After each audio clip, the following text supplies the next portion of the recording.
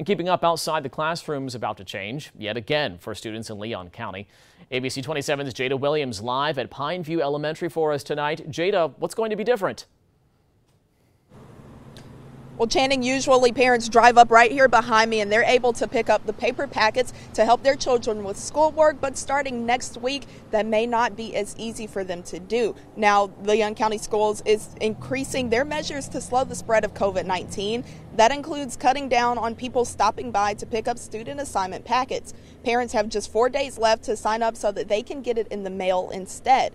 The district now looking to identify the families who need them so they can begin mailing them out on April 13th. Now, after repeated requests with Superintendent Rocky Hanna, we were not able to get him on camera today, but he did say that he will address this and many more changes with the school system tomorrow in a press conference, and we will be there to keep you updated. Now, as I have been out here, there haven't been many parents stopping by, maybe about five or six, and that's uh, within a three hour time span. So that shows you that parents aren't really coming out to pick up these packets, which means that they can move to that model that they want to move to. Now, reporting live from Pineview, Jada Williams, ABC 27.